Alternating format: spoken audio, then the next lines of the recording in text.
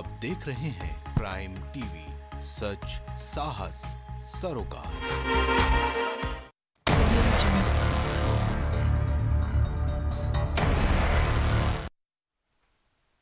नमस्कार, आप सभी का बहुत स्वागत है प्राइम टीवी पर और आप देखना शुरू कर चुके हैं प्राइम डिबेट मैं हूँ नितिन कुमार। उत्तर प्रदेश में जहाँ एक तरफ़ शपथ ग्रहण समारोह की तैयारियाँ चल रही हैं, उत्तर प्रदेश में इस बार मंत्रिमंडल में कौन मंत्री बनेगा, कौन डिप्टी सीएम बनेगा, उसकी कवायद तेज है। लगातार बैठकें चल रही हैं, लगातार मुलाकातों का दौर जारी है और लगभग सभी विधायक लखनऊ से दिल्ली एक किए हुए हैं। कोशिश है कि इस बार उत्तर प्रदेश में एक मज़बूत टीम उतारी जाए, क्योंकि आ, उत्तर प्रदेश का चुनाव तो बीजेपी ने जीत लिया है लेकिन अब उनके सामने एक बड़ी लड़ाई है और वो है 24 के चुनाव की। और इसी को देखते हुए एक मज़बूत टीम उतारना बीजेपी के लिए बहुत ज़रूरी है। बीजेपी चाहती है कि हर गुणा गणित, जिसमें जातिगत समीकरण है, जिसमें धार्मिक समीकरण है, जिसमें क्षेत्रीय समीकरण है, जिसमें उनके नेताओं के बेहतर मापदंड और रिज़ल्ट शामिल हैं, जिसमें उन्होंने बेहतर काम करके अलग अलग तरह के अलग अलग वर्गों के लोगों को एक तरह से साध करके बीजेपी में वोट कराया है। इन सभी को संकलित करके उनके बीच के नेताओं को ही इस बार की कैबिनेट में जगह दी जाए और मजबूती से उत्तर प्रदेश में इस बार जो तैयारी है 24 की, वो की जाए। फ़िलहाल, जहाँ एक तरफ़ सरकार पूरी कोशिश और पूरी तैयारी कर रही है चीज़ों को व्यवस्थित करने की और जल्द से जल्द उत्तर प्रदेश में काम शुरू करने की अपने दूसरे कार्यकाल की बीजेपी की तरफ़ से तो वहीं आज उत्तर प्रदेश की राजनीति में सरकार के कार्यकाल से पहले ही एक बड़ा वाक्य घटा है। आज पूर्व मुख्यमंत्री अखिलेश यादव, जो कि करहल की विधानसभा सीट से चुनाव जीत करके आए थे, मुख्यमंत्री के दावेदार थे, चुनाव तो समाजवादी पार्टी नहीं जीती, लेकिन अखिलेश यादव वहाँ से चुनाव जीत गए थे। और लगभग सभी को उम्मीद ये थी कि इस बार अखिलेश यादव अपनी विधानसभा की सीट छोड़ करके फिर से लोकसभा संभालते हुए दिल्ली में उत्तर प्रदेश की लड़ाई लड़ेंगे। और लगभग सभी को ये अनुमान हो गया था कि समाजवादी पार्टी के गठबंधन के प्रसपा के राष्ट्रीय अध्यक्ष शिवपाल सिंह यादव को उत्तर प्रदेश विधानसभा में मज़बूत ज़िम्मेदारी दी जाएगी। फ़िलहाल ज़िम्मेदारी दी जाएगी या नहीं दी जाएगी, इस पर अभी कह पाना बहुत मुश्किल है। लेकिन अखिलेश यादव ने आज अपनी सांसदीय सीट को छोड़ करके, वहाँ से इस्तीफा दे करके उत्तर प्रदेश में बीजेपी के खिलाफ खुद को खड़ा करते हुए और समाजवादी पार्टी को मज़बूत करने के लिए उत्तर प्रदेश को चुना है और ये कहा है कि हम विधायक रहते हुए विधानसभा के ज़रिए उत्तर प्रदेश में सरकार की नीतियों के खिलाफ खड़े होंगे। ये बड़ा अहम फैसला है।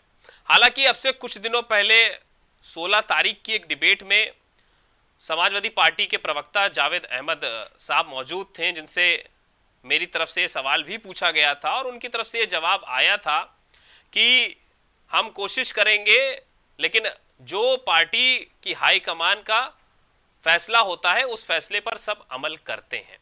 और इसी डिबेट में, जो हमारी आज की डिबेट है और 16 तारीख की डिबेट में, सुभाष यादव जी भी मौजूद थे, जनता संघर्ष मोर्चा के समाज सेवी भी हैं। उन्होंने भी जावेद अहमद से ये सवाल पूछे थे कि अगर अखिलेश यादव मुख्यमंत्री बन जाते तो ज़रूरी नहीं था कि वो किसी विधानसभा सीट से जीत कर ही मुख्यमंत्री बनते, वो एमएलसी बन सकते थे। अगर हार गए हैं तो उन्हें उत्तर प्रदेश में रहना बहुत ज़रूरी है। और कुछ उसी तरह से ही आज वाक्य घटा भी है और अखिलेश यादव ने अपनी सांसदी की सीट छोड़ दी है और अब वो उत्तर प्रदेश में कमान संभालेंगे। मैं आज ज़्यादा समय नहीं लूँगा क्योंकि समय आज की डिबेट पे ध्यान देने का बहुत ज़रूरी है, चर्चा में आगे बढ़ने का बहुत ज़रूरी है। पहले कुछ बयान सुनिए और उस बयान के बाद हम इस डिबेट को आगे बढ़ाते हैं। जावेद भाई जावेद भाई, मैं ये पूछ रहा था, अखिलेश यादव को इस वक्त ज़्यादा ज़रूरत उत्तर प्रदेश की है या फिर उत्तर प्रदेश की जनता को अखिलेश यादव की ज़्यादा ज़रूरत है जैसा कि आप लोग कह रहे हैं? तो उसके बावजूद वो अपनी विधानसभा की सीट छोड़ करके दिल्ली के लिए जा रहे हैं ऐसा कुछ समझ नहीं आ रहा और ये सवाल कहीं ना कहीं सपाइयों के मन में भी बना हुआ है और जो सपा को वोट करते आए उनके मन में भी बना हुआ है। नहीं जैसे नितिन भाई सुभाष जी ने भी कहा दोनों सवाल एक जैसे हैं। हम्म। निश्चित रूप से मैंने जो कहा कि विधानमंडल दल से लेकर और अखिलेश जी के नेतृत्व में हम्म। सड़क पर कार्यकर्ता निश्चित रूप से उतरेंगे। अखिलेश जी की अगुवाई में संघर्ष में न समाजवादी कार्यकर्ता साथी नहीं तो जब दिल्ली चले जाएँगे तो कैसे उतरेंगे? नहीं दिल्ली दिल्ली भी एक भूमिका है ना। दिल्ली में भी सदन के अंदर संसद में तो यूपी ज़्यादा है, मैं- देखिए नितिन भाई लोकसभा कोई अलग तो नहीं है वहाँ पर भी तो उत्तर प्रदेश के विषयों पर चर्चा होगी। नितिन जी, सवाल है। वहाँ चर्चा करेंगे। जावेद भाई, जावेद भाई सुभाष जी कुछ पूछ। जावेद भाई आपकी बात से चलिए मैं एक सेकंड के लिए एग्री भी कर लेता हूँ। लेकिन जब अखिलेश यादव जी को दिल्ली में ही रह के राजनीति करनी थी तो उनको क्या ज़रूरत थी मैनपुरी की करल सीट से चुनाव लड़ने की? अगर मैंडेट आ जाता तो एमएलसी बन के मुख्यमंत्री बन गए होते। उनको विधानसभा लड़ना ही नहीं था। अगर विधानसभा लड़ा और उत्तर प्रदेश की जनता ने उन्हें विपक्ष में बैठने की भूमिका अदा करने के लिए बोला तो वो विपक्ष में क्यों नहीं बैठ रहे वो दिल्ली क्यों जा रहे हैं? तो कहीं ना कहीं उत्तर प्रदेश की जनता भी तो अपने आप को ठगा महसूस कर रही है। नहीं नहीं, ऐसा ऐसा कुछ नहीं है इस तरीके की। अनेक बार परिस्थितियाँ आई हैं। कोई समाजवादी पार्टी के सामने ही नहीं आई है। बहुत से राजनीतिक दलों के बीच इस तरीके के फैसले लिए गए हैं। कि चुनाव परिणाम आने के बाद हमें क्या करना है? ये सुभाष जी, आप नितिन भाई, ये आप लोग वर्षों से देखते रहे हैं। इसमें कुछ अलग सा कुछ अगर दिखाई दे रहा हो हम ना जनता को छोड़ रहे हैं ना जनता हमें छोड़ने जा रही हमें अपना वोट शेयर भी बढ़ाना है हमें जनता के सवालों पर संघर्ष भी करना है और हमें मुद्दों को लोकतंत्र को जीवंत बनाना आप मेरे सवाल को डिनाई कर गए लेकिन आपने मेरे सवाल का जवाब नहीं दिया ना। सवाल को डिनाई करने का मैंने तो ये पूछा कि अगर आपके नेता को दिल्ली की राजनीति करनी है अगर बाय द वे मान लीजिए अगर आपके मैंडेट आ गया होता मुख्यमंत्री बनते अखिलेश जी तो जैसे पिछली बार बने थे 2012 के अंदर 17 के अंदर एमएलसी बने थे तो इस बार करहल से चुनाव लड़ने की आवश्यकता क्यों आन पड़ी उनको जब वो- उनको दिल्ली की राजनीति करनी है तो? आवश्यकता नहीं पड़ी। ये पार्टी का फैसला था योगी जी को भी वो भी एमएलसी बन जाते। हमारे केशव प्रसाद मौर्य जी भी एमएलसी बन जाते एक डिप्टी सीएम एमएलसी से ही। तो ये कोई एक राजनीतिक दल में मैं डिनाई नहीं कर रहा हूँ लेकिन एक राजनीतिक दल में हुआ परिस्थितियों या समय समय पर सभी राजनीतिक दलों में हुआ। ये हम आप अच्छी तरीके से जानते हैं। उत्तर प्रदेश के विधानसभा के अंदर भी समाजवादी पार्टी जनता के मुद्दों पर संघर्ष करेगी और लोकसभा में अखिलेश जी, हमारे राष्ट्रीय अध्यक्ष हैं, वो वहाँ पर भी इन मुद्दों पर चर्चा करेंगे और संघर्ष करेंगे। तो इसको अलग अलग लेने की कहीं पर कोई आवश्यकता नहीं है। निश्चित रूप से हम आपका आभार व्यक्त करते हैं। सुभाष जी, नितिन भाई कि आपने सवाल खड़े किए हैं अगर हमारे सामने तो हम उन सवालों के जवाब में खड़े साबित होंगे। यह निश्चित रूप से एक दिन आप स्वयं कहेंगे।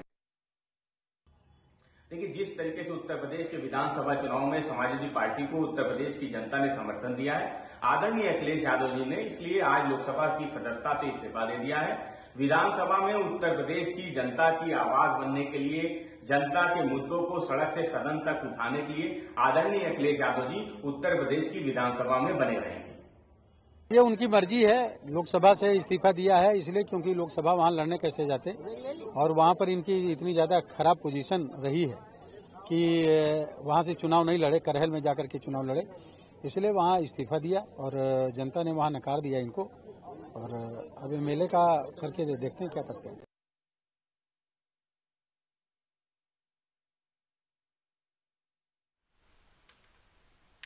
तो हमने आपको वो हिस्सा भी सुनाया 16 तारीख की डिबेट का, जहाँ पर हमने इस मुद्दे पर चर्चा की थी। और अब हम इस डिबेट को आगे बढ़ाते हुए एक बार फिर से इस मुद्दे पर चर्चा करते हुए नज़र आएँगे, क्योंकि आज उस डिबेट का काफ़ी कुछ असर हुआ और अखिलेश यादव ने अपनी जो विधानसभा सीट है, उसे चुना है लोकसभा सीट के मुकाबले। सबसे पहले मेहमानों से आपको रूबरू कराता हूँ, फिर इस चर्चा को मैं शुरू करूँगा। रामनिवास यादव जी हमारे साथ बीजेपी से जुड़े हुए हैं, इसके अलावा दिलीप यादव जी हमारे साथ प्रसपा से जुड़े हुए हैं, सुभाष यादव जी जनता संघर्ष मोर्चा से जुड़े हुए हैं, जावेद अहमद साहब हमारे साथ समाजवादी पार्टी से जुड़े हुए हैं और अमन तागी हमारे साथ कांग्रेस से जुड़े हुए हैं। सुभाष जी और जावेद भाई उस दिन की भी डिबेट में थे और इन्हीं दोनों के बीच में वो सवाल जवाब हुए थे। फ़िलहाल मैं डिबेट को आगे बढ़ाता हूँ। रामनिवास जी, सबसे पहले तो आपसे ही सवाल है, क्योंकि एक तरफ़ आप लोग उत्तर प्रदेश में अपने दूसरे कार्यकाल की शपथ ग्रहण की तैयारी कर रहे हैं और आज आप लोगों को एक बड़ी समस्या का सामना करना पड़ेगा, भविष्य में उसके संकेत मिल गए हैं। अखिलेश यादव ने अपनी विधानसभा की सीट को चुना है, लोकसभा की सीट के मुकाबले। तो अब कहीं ना कहीं आप लोगों के लिए समस्या बढ़ी है, क्या आपको लगता है? लोकसभा से इस्तीफा दिया है, क्योंकि उनको पता था अगर विधानसभा हम छोड़ देंगे तो विधानसभा में हार जाएँगे। जिस तरह से इतने संघर्ष के बावजूद पूरा परिवार यहाँ तक नेताजी भी गए प्रचार में। तब जाके जीते हैं। तो इसलिए उनको लगा कि अगर हम छोड़ देंगे तो हमारा जहाँ गढ़ उनका है वो गढ़ कमज़ोर हो जाएगा। और उनसे भारतीय जनता पार्टी कोई चुनौती नहीं है। वो तो चाचा भतीजे का झगड़ा चल रहा है। कभी चाचा नेता प्रतिपक्ष बनना चाहते हैं अच्छा। कभी अखिलेश जी। अब अखिलेश जी पार्टी के राष्ट्रीय अध्यक्ष हैं तो सारे पद रखना चाहते हैं। उसी के द्वारा उन्होंने एक नया काम किया है कि भाई चाचा नेता प्रतिपक्ष न बने इसलिए स्वयं बन रहे हैं। तो ये स्वागत है उनका और उनका जनता की समस्याओं से कोई सरोकार नहीं है। अभी तो खाली अपने परिवार और चाचा से लड़ें उसके बाद सत्ताईस जब आएगा तब देखा जाएगा इनको। तो यहाँ पे कोई कंट्रोवर्सी चल रही है दोनों के बीच? अखिलेश यादव चाहते हैं कि वो नेता प्रतिपक्ष बने इसी वजह से उन्होंने इस तरह का कदम उठाया। आपको लगता है? नहीं अभी देखिए मीडिया में लगातार आ रहा था कि शिवपाल जी बनेंगे जो है नेता प्रतिपक्ष। लेकिन जैसे मीडिया में उनके फेवर में कार्यकर्ताओं ने फेवर में आवाज़ उठाई, उनको लगा अगर यहाँ शिवपाल जी नेता प्रतिपक्ष बन जाएँगे तो उत्तर प्रदेश से हमारा सफाया हो जाएगा। और ये पूरे चुनाव में अपने चाचा से ही लड़ते रहे, और यही उसी का एक रूप है कि उन्होंने लोकसभा से इस्तीफा दे के विधानसभा में रह के नेता प्रतिपक्ष बन के काम करेंगे। ठीक है, मैं आता हूँ आपके पास। जावेद अहमद हमारे साथ जुड़े हुए जावेद भाई, बहुत स्वागत है आपका। उस दिन भी आज इस डिबेट में थे जहाँ पर आपसे ये सवाल पूछे गए थे और आज कहीं ना कहीं उस पर एक बड़ा फैसला आप लोगों की तरफ़ से लिया गया है कि अखिलेश यादव उत्तर प्रदेश में रहेंगे, जो कि कहीं ना कहीं वक्त की मांग भी है समाजवादी पार्टी के लिए और जो उनका वोटिंग प्रतिशत बढ़ाने वाली जनता है उनके लिए भी। आप इस फैसले को किस नज़र से देखते हैं? क्योंकि बीजेपी का ये कहना है कि अखिलेश यादव अपनी आजमगढ़ में पहचान बहुत अच्छी नहीं बना पा रहे थे जो कि उनकी संसदीय क्षेत्र था और इसी वजह से उन्होंने वहाँ से विधानसभा का चुनाव नहीं लड़ा। और इसी डर के मारे उन्होंने इस सीट को भी छोड़ दिया। और दूसरी चीज़ ये भी कि आपसी लड़ाई अभी भी चल रही है शिवपाल जी और अखिलेश जी के बीच में। और इसी वजह से इस तरह का फैसला अखिलेश ने लिया क्योंकि वो उत्तर प्रदेश में भी पार्टी की कमान संभालना चाहते हैं नेता प्रतिपक्ष के रूप में। नितिन भाई भी जब आपने और सुभाष जी ने सवाल खड़े किए थे उस समय की हमने एक बात कही थी डिबेट सोलह तारीख को। कि अब जो सवाल आप दोनों लोगों ने खड़े किए हैं उस पर हम खड़े साबित होंगे। तो आज वह समय भी आ गया। अखिलेश जी और समाजवादी पार्टी अपने संघर्ष को नहीं त्याग सकती है। और संघर्ष की क्षमता समाजवादियों में और अखिलेश जी में कूट कूट कर भरी हुई है।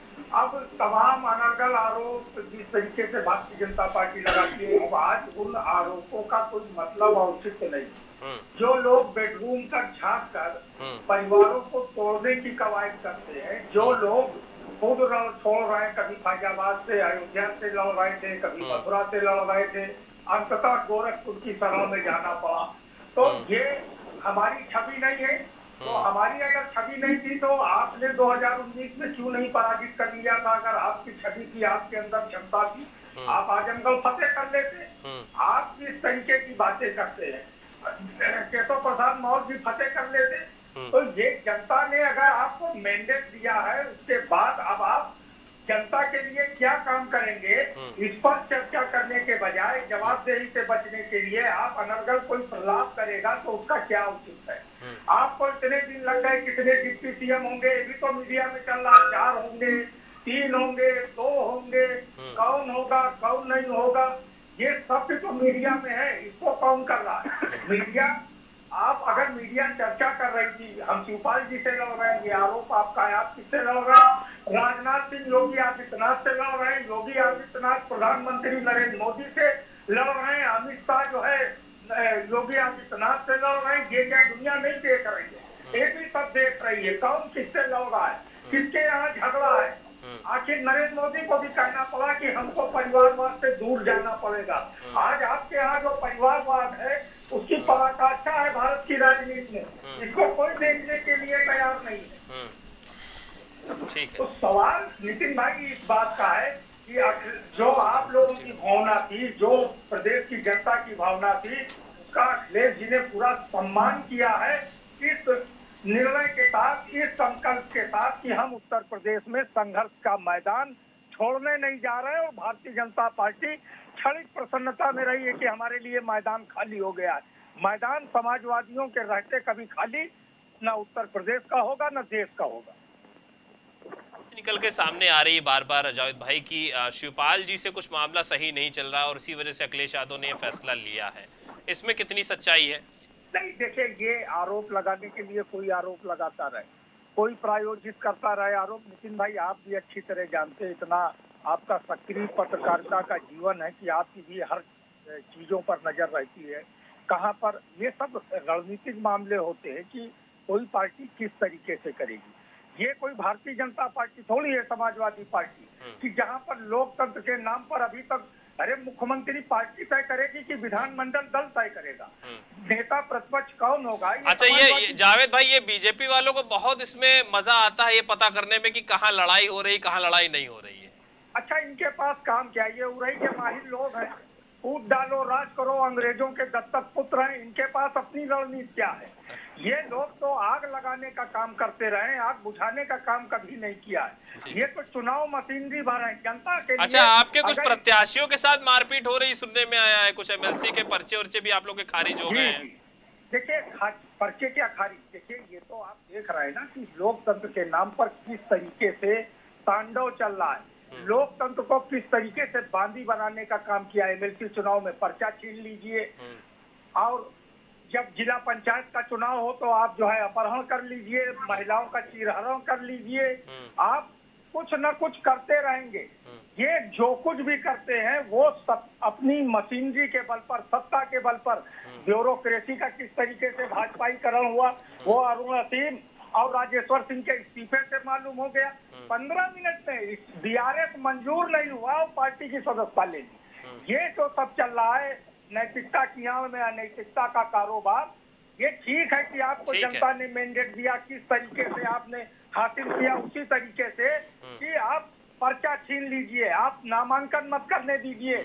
आप महिला अगर प्रस्तावक है तो उसका चीर हरण कर दीजिए और उसके बाद आप किसी न किसी मामले की आड़ में छिप जाइए कि अरे ये तो हम ये सब हमने किया ही नहीं उसके खिलाफ कार्रवाई कर दी। क्या कार्रवाई की है आज तक आप ठीक है मैं आता हूँ।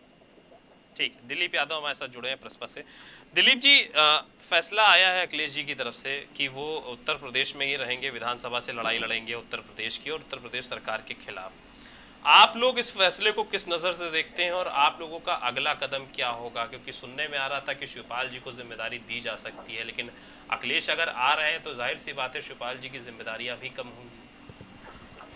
नितिन जी माननीय राष्ट्रीय अध्यक्ष, समाजवादी पार्टी अखिलेश यादव जी का जो इस्तीफा लोकसभा का जो है दिया गया, वो बहुत ही सराहनीय और जो है स्वागत योग्य है आज के परिदृश्य में, क्योंकि जो राजनीति, उत्तर प्रदेश की राजनीति चल रही है और देश की राजनीति चल रही है 2022 में इलेक्शन आने वाले सॉरी 24 में इलेक्शन आने वाले हैं लोकसभा के और 27 में जो है आपके उत्तर प्रदेश का आने वाला है।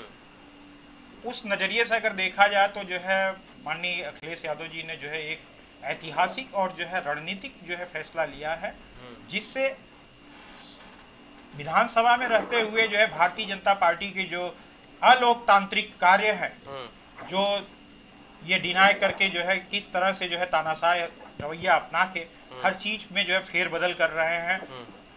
जो सामाजिक न्याय के जो है चीज़ें हैं उनको भी जो है नष्ट नाबूद करते जा रहे हैं और विकास के नाम पे जो है जो प्रदेश ठगा जा रहा है जनता ठगी जा रही है निश्चित तौर पे जो है अखिलेश यादव जी वहाँ पे विधानसभा में रहेंगे। तो तो ये बीजेपी क्यों कह रही है कि पहली चीज़ तो ये कि अखिलेश यादव आजमगढ़ में उनकी समस्या बहुत ज़्यादा थी इस वजह से वो छोड़ छोड़कर चले आए और दूसरी चीज़ ये कि वो इसलिए आए हैं क्योंकि शिवपाल जी को जिम्मेदारियाँ दी जा रही थी और अखिलेश को आ, वो हजम नहीं हुआ इसी वजह से वो चले आए। नहीं ऐसा कुछ नहीं रहा है कि जो है माननीय हमारे अध्यक्ष राष्ट्रीय अध्यक्ष शिवपाल सिंह यादव जी को जो है जिम्मेदारियाँ दी जा रही थी। ये जो है गठबंधन का जो है गठबंधन के नेता जो है माननीय अखिलेश यादव जी हैं तो जो भी मैंडेट आया है हमारे लिए जो है जितनी भी जो है सीटें आई हैं वो नेता हैं वो उनका जो है अपना राइट है वो जो है उस पर जो भी निर्णय लेंगे वो जो है सर्वमान्य होगा गठबंधन को जो है सर्वमान्य होगा तो इसमें कोई इफ़ एंड बट नहीं है वो जो है सोशल मीडिया में लोगों के जो है बातें चलती रहती हैं ऐसा कुछ नहीं रहा न ही जो है जो भी होगा वो करेंगे जो है माननीय अखिलेश यादव जी और शिवपाल यादव जी ठीक ठीक। सुभाष यादव जी हमारे साथ जुड़े हुए हैं। सुभाष जी सोलह तारीख की डिबेट थी, आप भी उसमें शामिल थे, आपने भी कई सवाल पूछे थे जावेद भाई से, और आज उन जवाब उन सवालों के जवाब जो हैं वो मिल गए हैं। अब उत्तर प्रदेश की लड़ाई किस तरीके से समाजवादी पार्टी लड़ेगी? दूसरी चीज़, क्या बीजेपी को इस फैसले से कुछ समस्या हो सकती है? और तीसरी चीज़, क्या प्रसपा के साथ एक बार फिर से गलत हुआ? देखिए नितिन जी पहले सवाल का तो जवाब मैं ये दूँ कि मेरे उस दिन की जो सोलह तारीख की जो डिबेट थी उसके अंदर के जो पूरी तरीके से जो मेरे सवाल थे उनका जवाब पूरा नहीं मिला है। अच्छा हाँ सिर्फ़ हाँ जी बिल्कुल। सिर्फ़ एक सवाल का जवाब मिला है कि उन्होंने लोकसभा की सदस्यता पद से इस्तीफा दे दिया। यानी कि उत्तर प्रदेश के अंदर रहेंगे। लेकिन मुख्य मुद्दा ये कि वो नेता प्रतिपक्ष बने रहेंगे या शिवपाल सिंह यादव जी को बनाएँगे। ये भी बड़ी सोचने वाली बात है ना? तो ये सवाल का जवाब उस दिन भी रह गया आज भी शायद हो सकता है जावेद भाई मुझे दे दें। जावेद भाई कह रहे हैं कि वो बैठक होगी, विधायकों की तो वहाँ पे चुना जाए। तो जावेद भाई तो उस दिन भी यही बात बोल रहे थे कि कोई ज़रूरी नहीं कि राष्ट्रीय नेता भी जो रहता है, वो तो दिल्ली के अंदर भी बैठ के राजनीति कर सकता है। उस दिन के फैसले पे भी ये सहमति जता रहे थे। आज के फैसले पे सहमति जता रहे थे। वही चीज़, प्रसपा के नेता ने भी अभी बोली प्रवक्ता ने भी की, कि आज जो हुआ, वही फैसले का स्वागत योग्य कदम है, और उस दिन भी वही बात चल रही थी। अगर राष्ट्रीय लेवल की राजनीति करते, दिल्ली के अंदर राजनीति करते तो भी स्वागत योग्य कदम है। तो असल में क्या है ना कि ये लोग डिसीज़न तो ले नहीं पाते हैं। अगर इनके नेता जो कहेंगे वही सही है, जो करेंगे वही सही है। कुछ व्यक्तिगत डिसीज़न भी होना चाहिए ना पार्टी लाइन से हटके भी कि उत्तर प्रदेश की जनता भी जाने कि हाँ वास्तविकता है क्या? दूसरा सवाल आपका यह था कि उत्तर प्रदेश के अंदर अखिलेश यादव जी के रहने से क्या भारतीय जनता पार्टी को लड़ाई मिलेगी? टक्कर मिलेगी। तो ये तो वास्तविकता, ये स्वाभाविक है कि एक प्रदेश के पूर्व मुख्यमंत्री अखिलेश यादव अगर विधानसभा के अंदर रहते हैं तो ज़ाहिर सी बात है कहीं ना कहीं भारतीय जनता पार्टी के ऊपर एक मनोवैज्ञानिक दबाव तो बनेगा ही। साथ ही समाजवादी पार्टी के और गठबंधन के जो भी कार्यकर्ता उनके ऊपर भी एक प्रोत्साहन वर्धक एक ऊर्जा मिलेगी कि उनका नेतृत्व तो उत्तर प्रदेश के अंदर उनके हक की लड़ाई लड़ रहा है। तो कहीं ना कहीं ये जो लड़ाई होगी जमीनी लड़ाई होगी और ही बहुत ही मज़बूत लड़ाई होगी। तो कहीं ना कहीं अब एक दौर आ गया है जहाँ पे भारतीय जनता पार्टी को और समाजवादी पार्टी को उत्तर प्रदेश की जन समस्याओं को लेकर आर पार करने का समय आ गया है। अच्छा। हाँ ये अलग बात है कि इतना सब कुछ होने के बावजूद भी विपक्ष उत्तर प्रदेश की जनता को वो यकीन दिलाने में सफल नहीं हो सका। इसकी वजह से आज वो विपक्ष के अंदर बैठने के लिए मजबूर है। अच्छा ये शिवपाल जी वाला जो मैटर चल रहा है ये क्या है मामला? देखिए शिवपाल जी का जो मैटर चल रहा है मैं समझता हूँ। रामनिवास जी कह रहे थे कि शिवपाल जी नेतृत्व में आ जाते इस वजह से अखिलेश यादव वापस चले आए हैं। देखिए हो सकता है रामनिवास यादव जी की बातों से मैं उतना इत्तेफाक नहीं रखता लेकिन हाँ कहीं ना कहीं हो भी सकता है। शायद अखिलेश यादव को अंदर आज सुरक्षा की भावना हो। अच्छा। इसकी वजह से उनको वो नेतृत्व नहीं देना चाह रहे हैं। जबकि वास्तविकता तो ये होनी चाहिए थी कि हाँ वो पार्टी के राष्ट्रीय अध्यक्ष हैं उत्तर प्रदेश के अंदर वो रह रहे हैं ये भी स्वागत योग्य कदम है। लेकिन उत्तर प्रदेश की राजनीति की जो नब्ज है मेरे हिसाब से शिवपाल सिंह यादव अखिलेश यादव जी से ज़्यादा समझते हैं। अच्छा। और काफ़ी अनुभवी नेता भी हैं। अगर नेता प्रतिपक्ष की ज़िम्मेदारी शिवपाल सिंह यादव जी को मिलती है तो कहीं ना कहीं ये गठबंधन के नेताओं के लिए और गठबंधन के सदस्यों के लिए भी फ़ायदेमंद ही होगा। तो कहीं ना कहीं राम नरेश जी का भी वक्तव्य सही है उसको मैं डिनाई नहीं करता हूँ। ठीक है। अभिमन्यु त्यागी हमारे साथ कांग्रेस से जुड़े हुए हैं। अभिमन्यु जी आवाज़ मिल रही है आपको? जी। अभिमन्यु जी ये तो बात हो गई दूसरे राजनीतिक दलों की अखिलेश यादव की भी बात हो गई शपथ ग्रहण की भी बात हो गई। आप लोग की पार्टी में भी कुछ ठीक नहीं चल रहा है। कुछ ऐसे नेता हैं जो अब प्रियंका गांधी से इस्तीफा मांग रहे हैं। वो कह रहे हैं कि पहले जब चुनाव हारा गया तो जो जिम्मेदार रहे हैं उनसे इस्तीफा ले लिया गया था। अब प्रियंका गांधी भी इस्तीफा दें। ये सब क्या है भाई?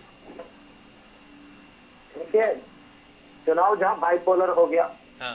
जो असली मुद्दे थे जनता के हम्म। शिक्षा रोज़गार हम्म। चिकित्सा किसानी महिला सुरक्षा विकास वो गायब हो गए और धार्मिक राष्ट्रवाद और भावनात्मक मुद्दों को हावी करके व्यापक प्रचार तंत्र के सहारे भारतीय जनता पार्टी ने सत्ता प्राप्त आपको नहीं पता था कि ये मुद्दे आने वाले हैं चुनाव में?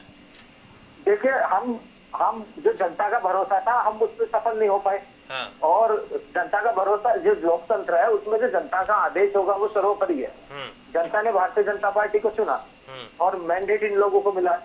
लेकिन एक बात हम कहना चाह रहे हैं कि वो ये है कि कांग्रेस पार्टी विचारधारा के साथ चुनावी मैदान में थी। आपके विचार आपकी पार्टी के लोग ही नहीं मिला रहे भाई वो कह रहे हैं कि प्रियंका जी। इस्तीफा दें। जी मैं वहीं पे आ रहा हूँ। हाँ। जहाँ धर्म और जाति पर चुनाव था वहाँ हम मुद्दों पर चुनाव लड़ रहे थे। हाँ। जहाँ तक सवाल की बात है कांग्रेस पार्टी जो भारतीय जनता पार्टी है वो कैटर बेस्ड पार्टी है कांग्रेस पार्टी पब्लिक की पार्टी है। वहाँ सवाल उठते हैं परफॉर्मेंस की बात कोई भी ज़रूर सवाल उठेंगे। लेकिन जहाँ तक प्रियंका जी की बात है वो जब यहाँ उत्तर प्रदेश में आई तो उनके सामने बड़ी चुनौतियाँ थी। लेकिन उन्हीं चुनौतियों के बीच में जो सवाल करने वाले लोग हैं ये ये भी कहा से इनके लिए भी तो सवाल बनता है कि उन्होंने अगर वो उत्तर प्रदेश से है अगर वो उन पाँच राज्यों से है जहाँ जहाँ कांग्रेस पार्टी चुनाव हारी है तो उनके बूथ पर कितने वोट पड़े हैं? हम सवाल जब ही करें कि जब हम अपना बूथ जिताकर भेजें अब वो लोग जिस समय उत्तर प्रदेश में चुनाव लड़ा जा रहा था वहाँ से गायब थे। जो जो सारे बड़े नेता हैं। जिन लोगों ने लड़ाया देखिए सचिन पायलट जी आए हुड्डा साहब आए उन लोगों ने चुनाव लड़ाया भूपेश बघेल जी आए अशोक गहलोत जी आए चन्नी साहब आए। तो जो जो बड़े नेता आते रहे उन लोगों को जान में कार्यकर्ता जान रहा था। जिस भी विधानसभा पे जिस भी ज़िले पे जा रहे थे लोग जान रहे थे। लेकिन जो लोग नहीं आज वही लोग सवाल उठा रहे हैं जिससे की वो कहाँ पे ये सवाल उन पे न उठाए जाए। वो सत्ता की बनाई खाते रहे जब तक कांग्रेस पार्टी सत्ता में रही। लेकिन जब इस तानाशाही सरकार से लड़ने का मौका था जनता की तरफ़ खड़े होने का मौका था तो वो शांत रहे। अब कैसे लड़ेंगे आप लोग जनता की लड़ाई? देखिए बात ये है। कि जो जो धर्म है धर्म हाँ। जो है जो धार्मिक राष्ट्रवाद है। हाँ। ये अच्छी बात है। हिंदू मुसलमान है हाँ। मस्जिद मंदिर के मुद्दे हैं। हाँ। लेकिन इन मुद्दों पर किसी का जो ये लोग नेता है या आम आदमी है जो कैडर है भाजपा का उनके बच्चे इस मुद्दे पर नौकरी तो नहीं कर सकते ना। नौकरी तो रोज़गार सृजन करने पड़ेंगे। उस इन मुद्दों पर हिंदू मुसलमान के मुद्दे पर पेट नहीं भर सकता उसके आपके पास नेतृत्व नहीं है कैसे उतरेंगे सड़क पे भाई? जी देखिए नेतृत्व तो है लेकिन हमारे पास एक एक रणनीति नहीं थी। जनता को हम समझा नहीं पाए। नेतृत्व तो है कांग्रेस पार्टी में बड़े नेता है। सरकार चलाना हमने लगातार सरकार भी चलाई है। बेशक वो अलग बात है चुनाव में हर चीज़ चलती रहती है। आएँगे दोबारा लड़ेंगे जनता के बीच में रहेंगे। जो जनता के बीच में रहेगा जनता ज़रूर स्नेह करेगी। प्रियंका जी ने लगातार जिस तरह से अपना व्यवहार दिखाया लोगों ने उसको लाइक भी किया। ठीक है मैं आता हूँ आपके पास। रामनिवास जी एक सवाल मेरा आपसे ये है कि क्या मिल रहा है आप लोगों को समाजवादी पार्टी के प्रत्याशियों के पर्चे फड़वा रहे हैं आप लोग? उनका नामांकन रद्द करवा रहा है। ऐसा सपा के लोग कह रहे हैं और लगातार चुनाव आयोग से मिलकर के शिकायत भी आप लोगों की की जा रही है। कुछ वीडियो भी सामने आए हैं। ये सब क्यों किया जा रहा है? नहीं नितिन जी ये तो जो चुनाव हारता है या जिसका पर्चा खारिज होता है वो अनर्गल आरोप लगाता है। अच्छा। यही मैं स्वयं भुक्तभोगी हूँ कि समाजवादी पार्टी की सरकार थी। हाँ। गन्ना संघ का चुनाव था।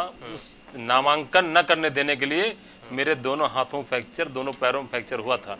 मेरे प्रत्याशी को समाजवादी पार्टी गुंडों उठा ले गए थे अपनी गाड़ी में लाद के। नामांकन नहीं करने दिया गया था। ये तो इसलिए इनको लगता है कि ऐसा कुछ होता है किसी का पर्चा खारिज होता है। तो इनको लगता है कि जो है मैंने कहा ना समाजवादी पार्टी के गुंडों ने मेरे प्रत्याशी को अपनी गाड़ी से उठा ले गए थे। मेरे पास उसका वीडियो मैं आपको दिखा सकता हूँ। और पुलिस प्रशासन मौके पर खड़ा था। ये तो समाजवादी पार्टी का पुराना इतिहास रहा है और उसका ये कैरेक्टर है। कि अगर वो हारते हैं तो कहते हैं जावेद भाई मैं आ रहा हूँ आपके पास। Please one by Javed ji Javed ji ये तो आपका इतिहास रहा है। जावेद भाई। पिछले चुनाव में देखिए आपके जिला पंचायत के चुनाव में देखिए ये तो जावेद भाई, की मैं आ रहा हूँ आपके पास। सुन लीजिए किसी पहले। गुंडाई के बिना किसी विवाद के सात चरणों में चुनाव हुए एक भी मर्डर नहीं हुआ। और आपकी जब सरकार 2017 के पहले थी तो हर चुनाव में मर्डर होते थे दंगा होता था लोगों के पर्चे फाड़े जाते थे लोगों को नामांकन नहीं करने दिया जाता था। ये योगी जी की सरकार है कानून व्यवस्था चुस्त दुरुस्त है कहीं कोई गड़बड़ करेगा तो सीधे ऊपर जाएगा। ये सबको पता है। इसलिए यहाँ कोई भी दंगा सपा वाले नहीं कर सकता है। अगर किसी का पर्चा खारिज हुआ है तो निर्वाचन आयोग है कोर्ट है जा सकता नहीं है। ये लोग बता रहे कि इन लोग के पास कुछ वीडियो है जहाँ पर आप लोग इनके प्रत्याशियों के साथ मारपीट कर रहे हैं नहीं कोई वीडियो है कोर्ट लेके जाएँ निर्वाचन आयोग के देंगे जो भी निर्णय कोर्ट करेगा निर्वाचन आयोग करेगा सरकार उसको मानेगी। सरकारी संघ के चुनाव में क्या क्या आपने नहीं किया? जावेद जी आप तो इस बहुत बड़े से एक्सपीरियंस होल्डर हैं क्योंकि कई बार आप लोगों ने किया है इसलिए आप तो ज़्यादा अपनी बात न रखिए क्योंकि आप इसमें माहिर हैं। और अभी योगी जी की सरकार है कोई गुंडाई नहीं कर सकता है। यहाँ अगर आपको लगता है कहीं कोई समस्या है तो निर्वाचन आयोग है कोर्ट है जाके तो देखिए अगर आपको लगता है कि आप गलत हुआ तो आपको न्याय मिलेगा। न्याय? वो उस महिला को न्याय मिला लखीमपुर में जिसका चीर हरण कराया था। ये तो उत्तर प्रदेश जनता ने न्याय दे दिया। वहाँ की सारी की सारी विधानसभाएँ करोगे, भारतीय जनता पार्टी के पक्ष में दे दिया। ये तो आपको आईना दिखा दिया। अब आगे संघर्ष करिए जनता के बीच में जाइए। आपको लगता है कि आप अच्छा काम करेंगे तो हज़ार सत्ताईस में नंबर आ सकता है। लेकिन अगर आपका ऐसे ही आचरण रहा तो ऐसे ही आप कार्य करते रहे तो आप भूल जाइए। तो अदालतें बंद करो ना। आप देश में अदालतें बंद करो। आप जो चाहो वो करो। आप पुलिस को खत्म करो आप गुंडाई करो आप खुद फैसला करो जो करना है। ये योगी जी की सरकार है? कोई गुंडाई नहीं कर सकता है। जो गुंडाई करेगा उसके लिए गुंडाई तो बुलडोजर है।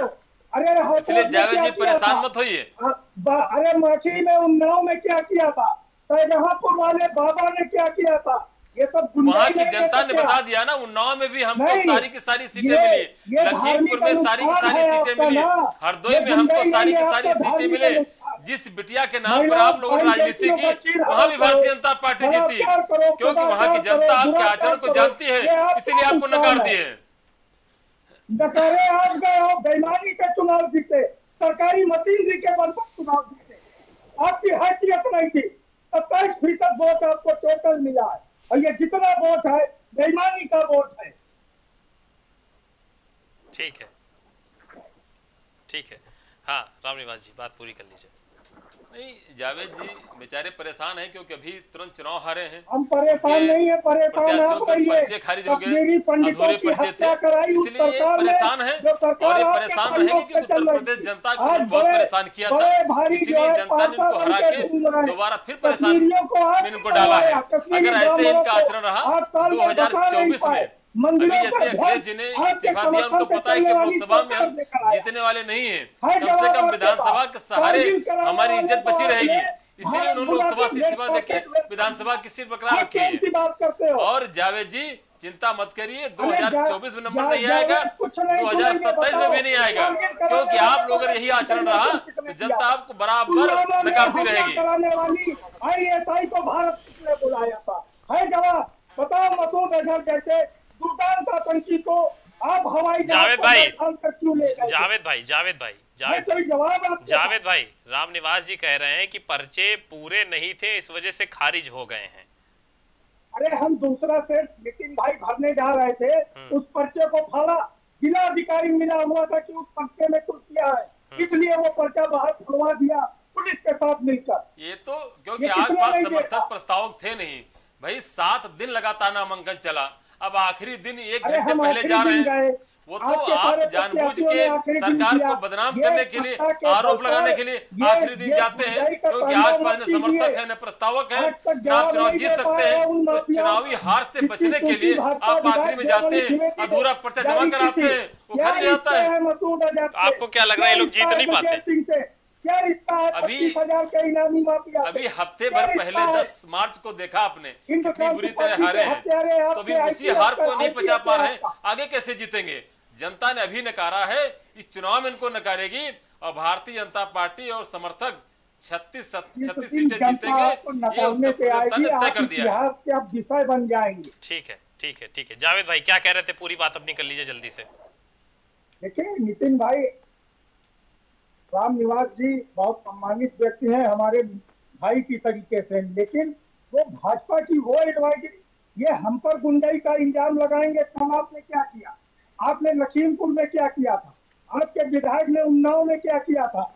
आपके पूर्व केंद्रीय गृह राज्य मंत्री ने शाहजहांपुर में क्या किया था? आपने कहा तांडव नहीं किया? आप पर्चा छीनोगे जिला पंचायत चुनाव में, आपने पूरा चुनाव सरकारी मशीनरी के बल पर लड़ा। जिला अधिकारी और पुलिस अधीक्षक आईजी से लेकर डीजीपी तक आपके स्टार प्रचारक बने थे। आपने मतदान, आपने बीडीसी सदस्यों का, जिला पंचायत सदस्यों का बलात् अपहरण कराया, मुकदमे नहीं लिखे अगर हमारे पर्चे में त्रुटि थी, हम दूसरा सीट जमा करने जा रहे थे तो इसकी जानकारी भाजपाइयों को किसने दी? मतलब है कि जो निर्वाचन अधिकारी था, उसने भाजपाइयों को दी। बैरिकेटिंग के अंदर भाजपाई कैसे पहुँचे? वहाँ पर पुलिस थी पुलिस ने क्यों नहीं भगाया? ये इन सवालों का जवाब कौन देगा?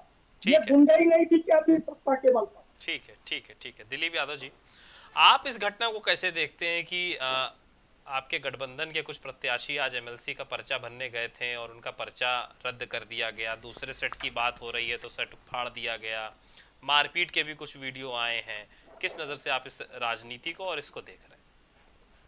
जी नितिन जी हमारे बीजेपी के प्रवक्ता रामनिवास जी जो कह रहे हैं कि वाकई में जो है उत्तर प्रदेश में और केंद्र में जो है दोनों जगह जो है सुशासन है।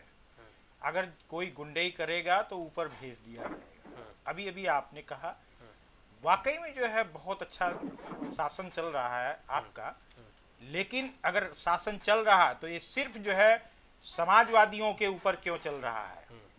जो आप शासन अच्छा चल रहा है, उन पे क्यों चल रहा है? आपके जो गुंडे हैं, जो भारतीय जनता पार्टी के गुंडे हैं, वो छुट्टे सांड जैसे कैसे घूम रहे हैं?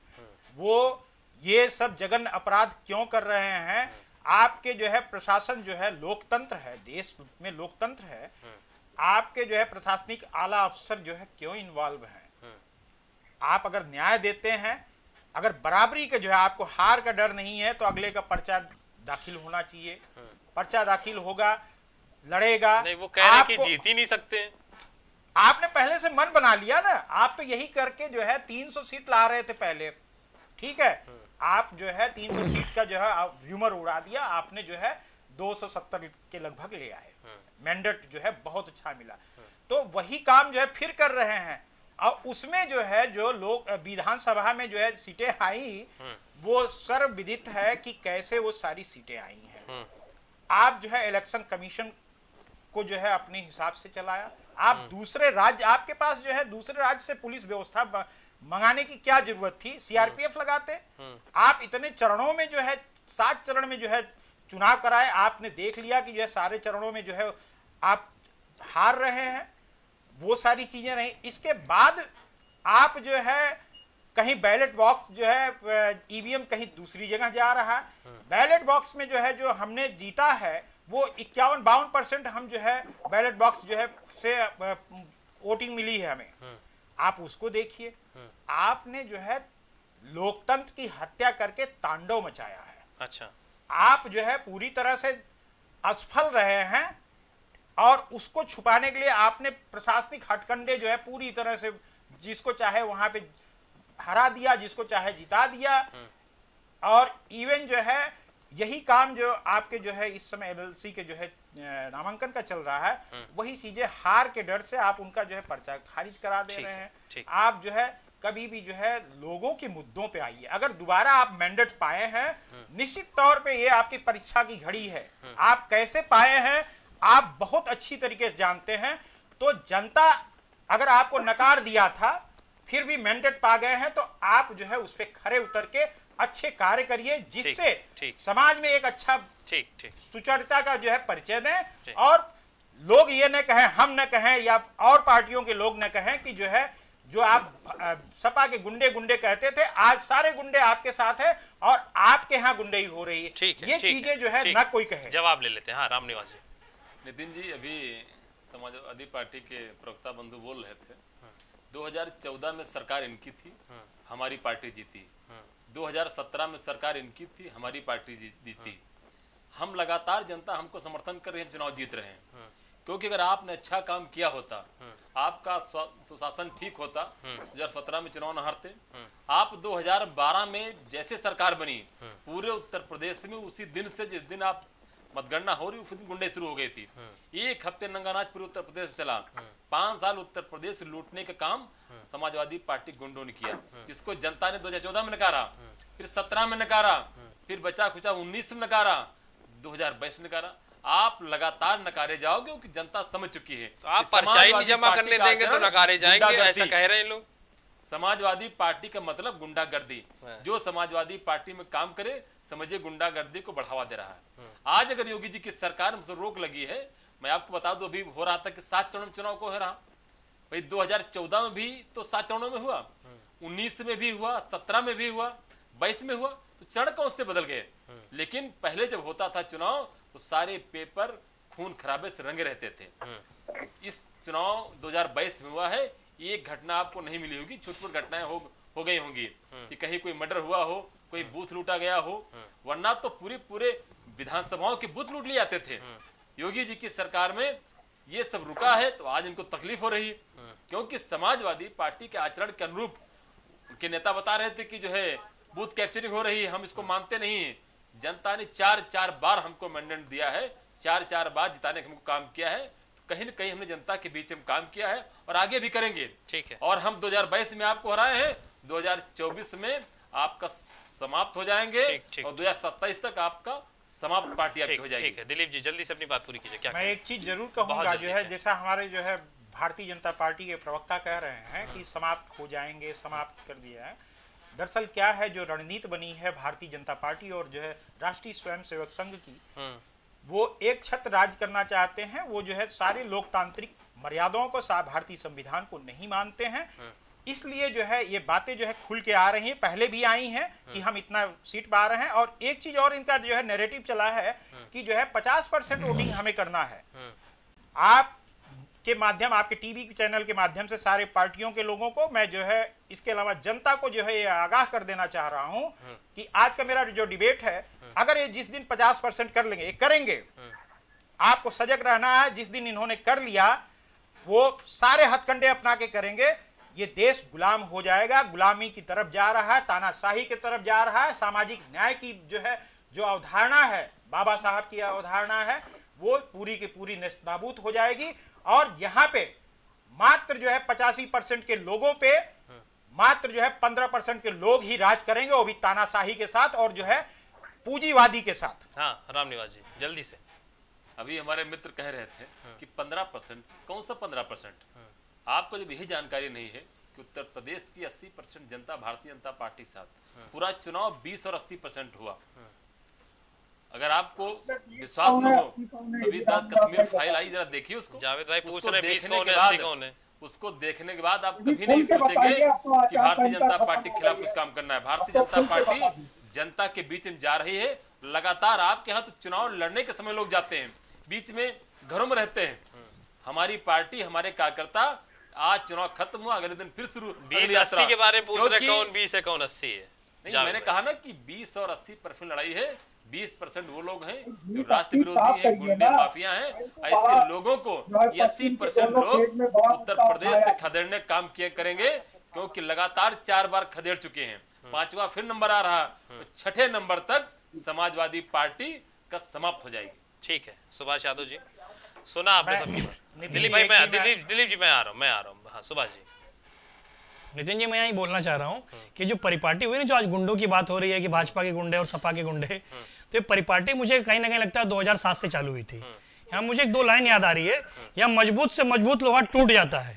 यहाँ मज़बूत से मज़बूत लोहा टूट जाता है। कहीं झूठे इकट्ठा हो तो सच्चा टूट जाता है। आज एक दूसरे के ऊपर जो आरोप प्रत्यारोप हो रहा है शुरुआत किसने की थी? इसको भी देखना चाहिए ना। मेरे साथी प्रवक्ता प्रसपा के जो आरोप लगा रहे हैं इसी तरीके से कि इलेक्शन कमीशन का दुरुपयोग किया गया था। यानी ये फिर कहीं ना कहीं इशारा कर रहे हैं इंगित कर रहे हैं कि ईवीएम के अंदर कहीं ना कहीं घपला हुआ है। अरे महानुभाव, अगर आपको लग रहा है कि आप ईवीएम की स्थिरता पर सवाल उठा रहे हैं, उसके ऊपर आपको भरोसा नहीं है तो क्यों आप ईवीएम से चुनाव करवाने के लिए आते हैं? बाइकाट क्यों नहीं करते? सारी विपक्षी पार्टियों के एक मंच पर क्यों नहीं लेके आते? आप बोलते बैलेट पेपर के अंदर से हम आगे चल रहे थे। बैलेट पेपर का चुनाव और ईवीएम का चुनाव बैलेट पेपर के अंदर किसने, कितने परसेंट लोगों ने वोट किया होगा? जो सरकारी कर्मचारी थे, जो कहीं बाहर अपनी पोस्टिंग पे, उन्होंने किया था। अदरवाइज़ तो उत्तर प्रदेश की जनता ने वोट किया था ना? तो उत्तर प्रदेश की जनता ने वोट करके भारतीय जनता पार्टी को जिताया। ले दे के बार बार जो पोलराइजेशन की बात होती है कि पोलराइजेशन कर दिया भारतीय जनता पार्टी ने, भारतीय जनता पार्टी ने वो कर दिया। ये अस्सी और पचासी वाली, पचासी और पंद्रह वाली बात तो शुरुआत तो स्वामी प्रसाद मौर्य और समाजवादी पार्टी गठबंधन के नेताओं ने की थी। भारतीय जनता पार्टी अगर अस्सी और बीस की बात कर रही है तो क्या गलत कर रही है? आप नहला मार रहे हैं, वो दहला मार रही है। शुरुआत आप कर रहे हैं और उसके बाद अगर आरोप लगा रहे हैं कि भारतीय जनता पार्टी चुनाव को ध्रुवीकरण की तरफ़ लेके जा रही है तो भैया सही बात तो यह है कि शुरुआत आप लोग कर रहे हैं। आप भारतीय जनता पार्टी को मौका दे रहे हैं कि चुनाव को पूरी तरीके से ध्रुवीकरण किया जाए। तो एक दूसरे पे आरोप प्रत्यारोप न करते हुए अपनी कमियाँ ढूंढिए। जब देखो तब ईवीएम को बहाना। बैलेट पेपर से चुनाव कराइए, ईवीएम के अंदर गड़बड़ हो रही है। अरे भैया, उत्तर प्रदेश की जनता ने आपको नकार दिया, पूरी तरीके से नकार दिया। 2017 के अंदर नकारा 2019 के अंदर नकारा 2022 के अंदर भी नकार दिया। उसके बावजूद भी आप मंथन करने की बजाय बार बार ईवीएम के ऊपर ठीकरा फोड़ेंगे बार बार इलेक्शन कमीशन के ऊपर ठीकरा फोड़ेंगे बार बार अधिकारियों के ऊपर ठीकरा फोड़ेंगे। मंथन करिए मंथन। और अगर आपको फिर भी लग रहा है कि नहीं गलत हो रहा है तो सड़कों पर उतरिए संघर्ष करिए। कर ही नहीं रहे। टीवी डिबेट के ऊपर आरोप लगाएँगे जमीनी स्तर पर संघर्ष करेंगे नहीं। तो नितिन जी कहीं ना कहीं विपक्ष में पूरी तरीके से नाकाम हो चुका है। दिलीप जी क्या कह रहे थे? देखिए अभी जो है सुभाष यादव जी ने जो बहुत बड़ी बात कही कि जो है आप ठीकरा फोड़ रहे हैं। सुभाष जी आप भी जो है इसी समाज में रहते हैं इसी प्रदेश के वासी हैं। जो सारी घटनाएँ हुई हैं जो चीज़ें कहा गया है उसमें जो है पूर्णतः सत्यता है।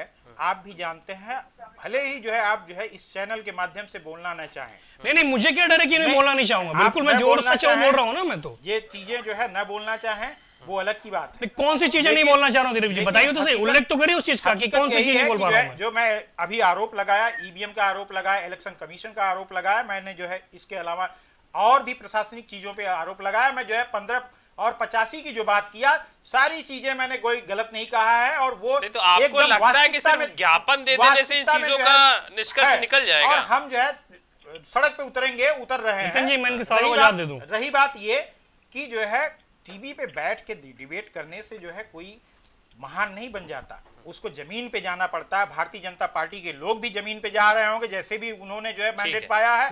सपा भी करता है करती है। प्रसपा भी करती है अन्य पार्टियाँ भी करती है। कांग्रेस भी करती है। ठीक है, ठीक तो है, कहने का मतलब जो वास्तविकता है इन्होंने अभी जो जिस आरोपों का उल्लेख किया मैं कंप्लीट कर लूँ सुभाष जी? सर समय कम है वापस जल्दी से पूरा है कभी नकार नहीं सकते और जो है नकारना नहीं चाहिए। जी- एक भ्रांति नहीं फैलाना चाहिए। ठीक है ठीक है मैंडेट दिया है मैंडेट को हम स्वीकार करते हैं चाहे जैसे मैंडेट आ जाए। ठीक है ठीक है आप प्लीज़ प्लीज़ समय कम है सर चाहे समय जैसे है अपना के जो है मैंडेट लाए मैं उसको एक्सेप्ट करता हूँ। लेकिन जो वास्तविकता है कभी स्याह मिट नहीं सकती है। ठीक है ठीक है सुभाष जी जल्दी से। दिलीप जी आप आरोप लगा रहे हैं। ऊपर से ये भी बोल रहे हैं कि हम जनता के जनादेश को स्वीकार भी करते हैं। जब जनता के जन, जनता के जनादेश को स्वीकार करते हैं तो ईवीएम के ऊपर अपनी हार का ठेकरा क्यों फोड़ रहे हैं? अगर आप सुन लीजिए अगर आपको अभी भी लग रहा है कि आपका ईवीएम के ऊपर भरोसा नहीं है तो ईवीएम से जब चुनाव होता था इलेक्शन कमीशन के सामने क्यों नहीं जाके प्रस्तुत हो जाते कि भैया ईवीएम से हम चुनाव में नहीं जाएँगे? अगर आप ईवीएम से चुनाव कराएँगे तो हम चुनाव का बायकट करेंगे। सारी विपक्षी पार्टियों को एक मंच पर लाने का प्रयास क्यों नहीं करते?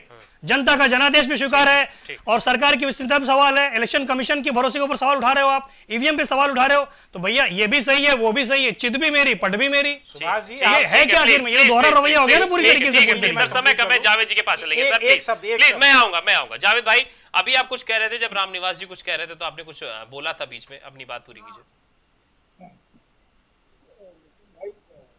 सवाल उठाए गए भारतीय जनता पार्टी की अब भाषा की मर्यादा देखिए जब एक भाषा बोलेगा तो दूसरा भी फिर उसका प्रतिवाद तो करेगा ही करेगा। अब हर चीज़ की जब मर्यादा को तोड़ा जाएगा तब आदमी क्या करेगा? आवेश तो मानव स्वभाव है। मनुष्य तो द्वारा अनुशासित है। स्वाभाविक है कि आवेशित होगा फिर कोई रोक नहीं पाता पहली चीज़ दूसरी चीज़ देखिए कई ईवीएम ही एक कारण नहीं है कि हार का एकमात्र कारण सुभाष भाई ईवीएम है। अब देखिए अट्ठावन दशमलव सात फ़ीसद वोट पड़ा और गिना गया तिरसठ फ़ीसद। अगर ये जावेद भाई ईवीएम का ज़िक्र मैंने नहीं किया था। आप के साथी गठबंधन के प्रवक्ता ने किया था। हाँ हाँ, मैं मैं उस चीज़ को मैंने खाली इसलिए कहा कि एकमात्र कारण ईवीएम नहीं है। जी। कि हम हम ईवीएम पर ही हम चुनाव लड़के आए हैं हमने ईवीएम से चुनाव भी जीता। हम्म, लेकिन बात लेकिन आप ये देखिए आप बहुत ऐसी विधानसभा कि दस हज़ार से जो जीत गया उसकी मतगणना को रुकवा कर वहीं पर उसको डीजे का सर्टिफिकेट नहीं। रात दो बजे रिकाउंटिंग का आदेश और दो घंटे बाद दूसरे को पाँच हज़ार।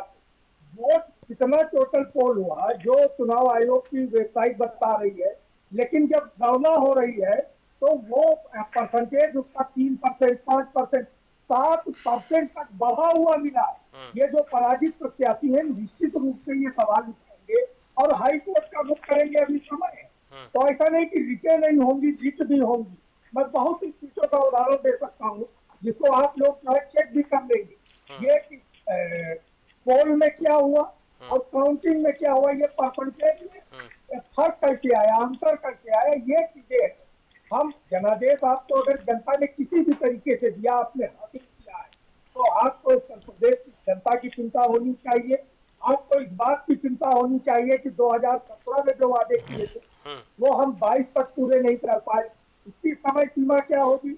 आप आपने एक वादा अभी किया लेटेस्ट कि हम बिजली का बिल हाफ़ कर देंगे। तो बिजली का बिल आप कब हाफ़ करेंगे ये आप ठीक है, जवाब ले लेते हैं, पूछ लेते हैं। चौबीस के चुनाव से पहले आप करेंगे पूछ पूछ लेते हैं। भाई मैं दूसरी डिबेट हाँ ठीक है सर ठीक है ठीक मैं पूछ लेता हूँ। हाँ हाँ ठीक है रामनिवास जी। जावेद जी कभी मानने को तैयार नहीं होंगे। क्योंकि तो मानेंगे तो अखिलेश जी पर आरोप लगेगा।